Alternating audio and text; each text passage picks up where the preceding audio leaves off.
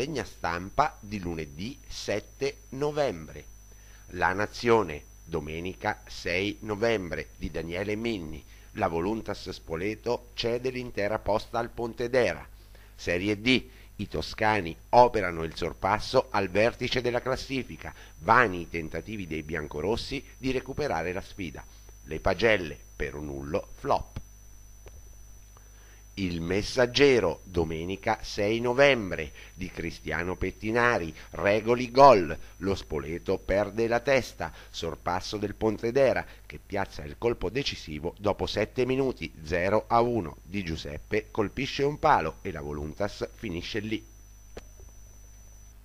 Il Corriere dell'Umbria, di domenica 6 novembre, di Stefano Bencivenga, Spoleto giù, addio primato Decide il gol di Regoli nei minuti finali di Giuseppe colpisce il palo. Il Pontedera passa dopo 8 minuti e spodesta la Voluntas dalla vetta. Spogliatoio. Buona reazione. Che bravi di Giuseppe e Tomassini. Brevi. Fatale la sberla iniziale. Il giornale dell'Umbria di domenica 6 novembre di Luca Cesaretti. Stop pesante. Lo Spoleto perde partita e primato colpaccio e sorpasso per il Pontedera. Spogliatoi brevi, regalati i primi dieci minuti. Bene di Giuseppe. Il Messaggero, lunedì 7 novembre, di Cristiano Pettinari. Brevi analizza il KO contro il Pontedera. Siamo mancati solo nei primi dieci minuti. Spoleto, niente processi. Il Corriere dell'Umbria di lunedì 7 novembre di Stefano Bencivenga. Spoleto volta pagina. Pensiamo al Pierantonio, l'anticipo del frate e la sconfitta interna contro il Pontedera già in archivio. Non ci ridimensiona e ci dà convinzione. Comunale di Spoleto nell'anticipo televisivo di Rai Sport di questa settimana, prima contro seconda con la capolista Voluntas, sempre vittoriosa in casa che affronta una delle squadre più compatte e concrete del girone. Ezio Breve deve fare i conti con le assenze di Ionni e Cesare a centrocampo, ma rimedia con Cassetti e di Giuseppe. I numeri dei toscani fanno paura, non hanno ancora perso e vantano la miglior difesa del torneo. Fuori casa addirittura due sole reti subite in quattro gare, arbitra l'incontro il signor Pasquale Boggi di Salerno, figlio d'arte, figlio di quel Robert Anthony che fu protagonista nel calcio che conta degli anni 90. Due minuti, punizione eh, laterale di Peronullo, il portiere eh, smanaccia e eh, respinge la conclusione dell'attaccante dello eh, Spoleto. Ma ben presto la reazione della squadra ospite è letale eh, con eh, Regoli che con un gran diagonale batte il portiere della Voluntas.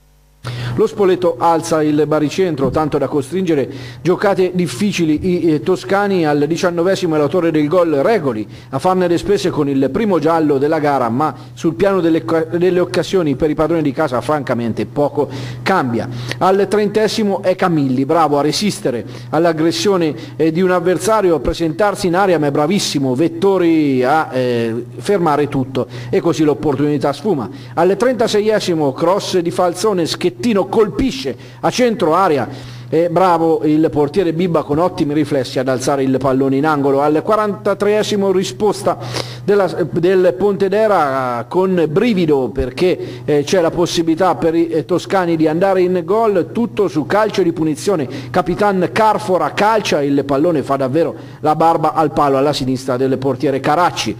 Al 45esimo è Schettino ad esibirsi nell'ennesima rimessa laterale eh, stile calcio d'angolo, ma Camilli di testa non è preciso ed alza. Finisce con le Ponte d'Era in vantaggio il primo tempo, toscani che confermano la loro compattezza Intanto rivediamo il colpo di testa, la lunga gittata eh, da parte di Schettino, eh, toscani che confermano la, lo la, loro compattezza ma con la Voluntas che trova solo nel gioco di parole del proprio nome la caratteristica eh, che si nota in campo di gioco, nemmeno l'ombra. Con le immagini andiamo alla ripresa, due minuti e Nolè avrebbe subito l'opportunità di raddoppiare ma il suo diagonale non è preciso e si sfila sul fondo. Vediamo Nolè che vince un rimpallo, poi la sua conclusione sull'intervento di Tempesta, la palla che se ne va sul fondo. Al quinto minuto tocca Gammaidoni avere una buona palla dopo lo scivolone di un difensore, il colpo di testa eh, finisce sulle fondo, rivediamo ancora l'inzuccata da parte di Gamma Idoni. All'ottavio doppia sostituzione Tomassini per Falzone, poco dopo il 37enne Manni per Cassetti. Al dodicesimo proprio Tomassini, per poco non approfitta di un altro traversone con le mani firmato Schettino, ma i difensori in qualche modo sbrogliano una matassa complicata. Al ventisettesimo nel Pontedera esce Arrighini ed entra un altro attaccante. Magnani, idolo della tifoseria Amaranto, le reduce da un lungo infortunio. Al 33esimo proteste di eh, Peronullo per il mancato secondo giallo a Lucarelli. Qui francamente ci poteva stare sugli, della, eh, sugli sviluppi della punizione. Poi vedete le eh, proteste all'indirizzo dell'arbitro Boggi, forse unica sbavatura nella direzione di questo match eh, Peronullo che viene affrontato da Lucarelli già ammonito che lo mette a terra. Sugli sviluppi del calcio di punizione è eh, colpo di testa di Di Giuseppe che va a centrare il palo e poi la conclusione termina altissima da parte di Tomassini, il colpo di testa a botta sicura di Di Giuseppe, portiere immobile, poi Tomassini alza la traiettoria. Al 35 ultima sostituzione per la Voluntas, dentro Cavitolo, fuori Piernera eh, ma eh, c'è questa opportunità per il Ponte al quarantesimo, sugli sviluppi di un calcio d'angolo. Si accende la mischia, tenta la conclusione Magnani ma il tiro è deviato in angolo da Ingiosi.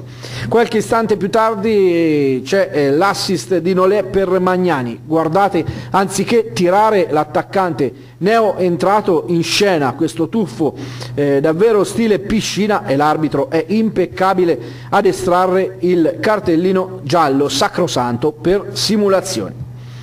Al 48 ci prova eh, la Voluntas, eh, l'ultima opportunità è per Camilli, la conclusione dalla distanza ma Bibba è attento e abbranca in presa a terra. Finisce col meritato successo ospite, la Voluntas perde in un solo colpo primato e partita a tutto vantaggio di una squadra, quella di Masi, che conferma di essere granitica e di star bene fisicamente. Lo Spoleto ha avuto tanta volontà ma eh, una quasi totale assenza di idee di gioco. Bene l'arbitro Boggi di Salerno, buon sangue, non mente.